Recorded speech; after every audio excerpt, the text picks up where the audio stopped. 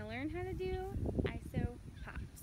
So, first things first, you're want to find a flat surface. Now, you want to avoid concrete and hardwood floors, something that'll scratch your hoop up. That's why I'm sitting on the grass because this is a brand new hoop and I do not want to scratch it. So, if you don't really care about your hoop getting scratched, and that's fine. Like me, I have a hoop dedicated to concrete hooping because it is just scratched to shit. Anyways, so first thing you're gonna wanna learn is the basic isolation. Now, if you haven't seen this, I have a video called basic off-body hooping and basic isolations I believe is the first tutorial in that video. So we talked about leading with your thumb and leading with your pinky. For this particular isolation you're going to want to lead with your pinky because once you make a complete isolation your right hand if you're like me and you use your right hand your right hand will be at 6 o'clock and your thumb's going to be pointing towards 9 o'clock you're just going to push it out. Now if you're left-handed, do the complete opposite. Right? But I'm going to stick with right hand because this hand doesn't know what it's doing. You're to push out.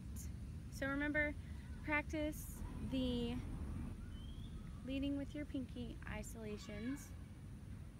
Push out. Now, when your arm is across your body as you push out, this is where the floor comes in handy.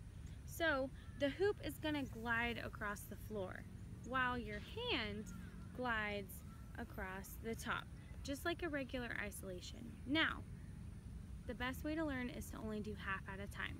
So, I'm going to show you in slow motion and I'm going to explain it more in depth.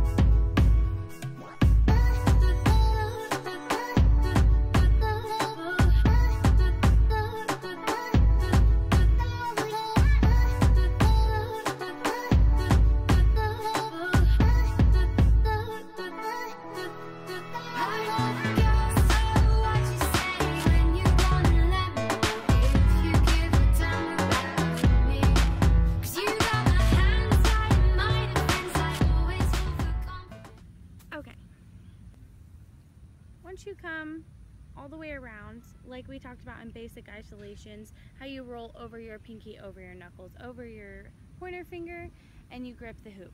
You're just gonna bring it back down, keeping that picture frame image.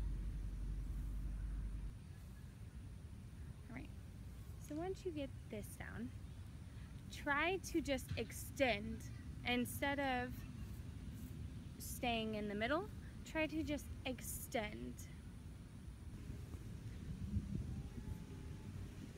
You're gonna push, follow through, let the hoop glide on the ground, across the top with your hand, pushing it all the way out, straightening your arm. This is the trick to this isolation, keeping your arm straight. Because when I first started doing it, I was doing this, and it just, I was wondering why it looked so weird.